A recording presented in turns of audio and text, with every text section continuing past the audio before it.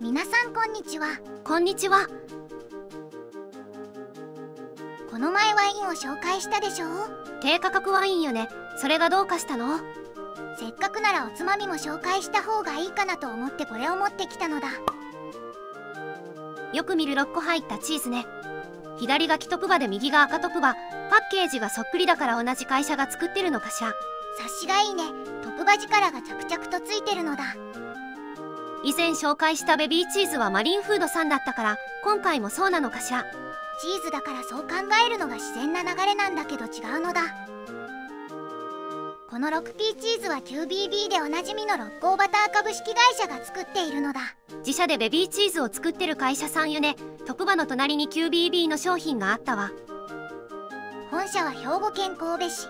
売上の9割以上はチーズで国内のプロセスチーズ販売はトップらしいよ今日はちょっと変わったものを見つけたからそれを紹介するのだ。また J リーグでしょう。知ってるんだから。え何これ？QBB のゲームなのだ。妨害するネズミを避けながらゴールを目指してみんなにチーズを届けようって内容だね。主人公は赤い帽子をかぶった Q ちゃんなのだ。岐阜で Q ちゃんといえば高橋直子さんよね。あとはキュウリの Q ちゃんだろうね。まずは超簡単。ステージ1なのだそうだそうだ大事なことを言い忘れてたのだ。何かしら？6月の第1日曜日はベビーチーズの日なんだって。でも今日紹介するのは 6P チーズよね。動画を作ってる最中に分かったのだ。六甲バターの6と毎日1個食べて健康になろうって意味から来てるらしいよ。ヴィレッジヴァンガードではコラボグッズが販売中だって。オンラインショップだけの限定商品もあるのね。QBB のチーズは何種類あるかだってわかる？300稼んだろうけどここは1億にしとこう。そりゃそうだ。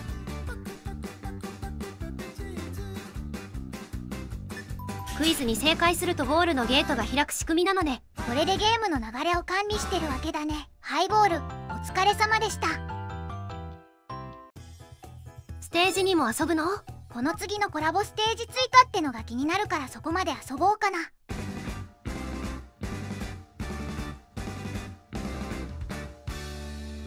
の出だしの音楽いいね。次のクイズはどんなのかしら？チーズが誕生したのはいつ頃か？本格的なのが来たね。戦国時代とアダムとイブは違うでしょうから2択ね。カンブリア紀じゃないんだ。どれくらい前か知ってるの？カンブリア宮殿に出たいのかなと思ってこれにしたのだ。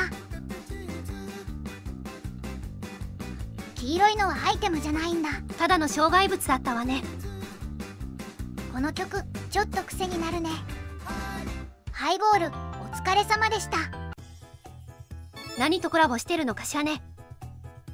ヨーグルッペトレジャー？なんだろう。このマスコット岐阜県美濃市のマスコットうだつくんに似てるのだ。ほっぺたの感じや色白なのが似てるわね。じゃあやっていきましょう。オッケー牧場。この穴は何だろう？入ってみようか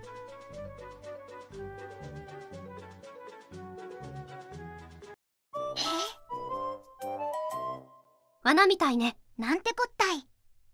再挑戦なのだ。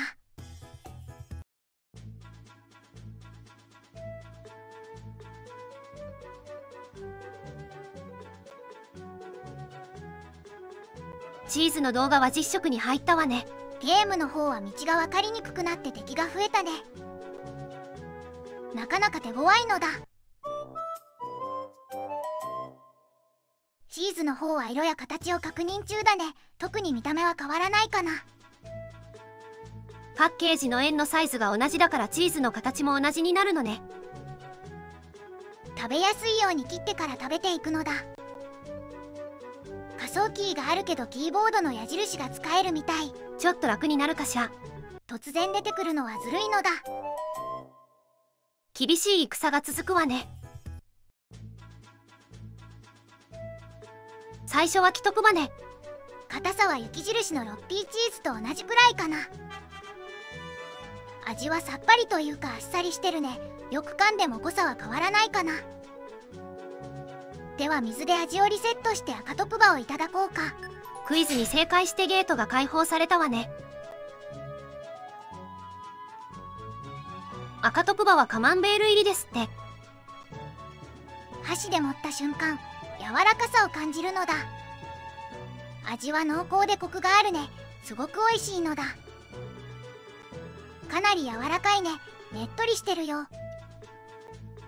あの敵が邪魔ね。こっちに来たのだ。逃げろ逃げろ全力で逃げるのだ。追ってくるわね。危ないところだったのだ。結構入り組んでるわね。雪印のチーズは硬さがあって濃厚コクがあるね。程よい塩気でさすがロングセラー商品って感じなのだ。ちょうどゴールしたわね。順位をつけるなら1位赤トプバ2位雪印3位キトプバなのだ。え赤トプバが1位なの？じゃあ画面をいつものに戻そうか。さっきのゲームは QBB ゲームで検索すると出てくるのだ。今日は酸化防止剤が入ってない特馬ワインを持ってきたのだチーズといえばワインよね。今日はちゃんと冷やしてあるからいつもより美味しいはずなのだ。特馬の赤ワインは濃い赤って別の種類もあるんだよ。濃いってことは味も違うのかしら？飲んだのはずいぶん前になるんだけどあまり好きじゃなかったね。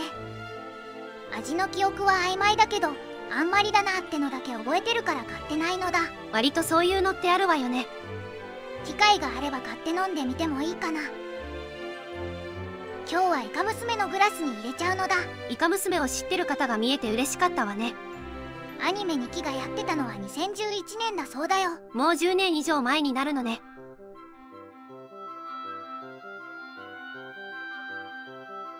このジュースみたいなあっさり感がたまらないのだ。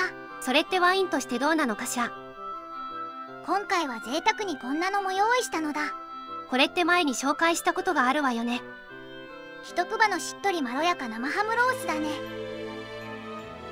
店頭で見てたらたくさんあるなと思ってたら切り方が違うんだよね。量は同じだけど長いものとその半分くらいがあるのね。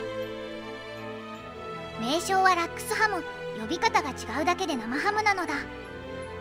ラックスはドイツ語で酒ドイツの製法で作られてるんだって。イタリアのプロシュートスペインのハモンセラーノ中国の金華ハムが世界三大生ハムって言われてるんだって。どこのインターネットで調べてきたのかしら？岐阜県が誇るメイホーハムのホームページにあったのだ。ちょっと話はそれちゃうけど中部地方では鎌倉ハムの経由インナーって CM が昔よく流れていてね。鎌倉さんもいかんわ。うますぎるもん。って言えばピンときたもんだよ。ローカル色がいつもに増して強いさて動画の方はチーズに生ハムを巻きつける準備をしてるね。あなたこの食べ方大好きよね。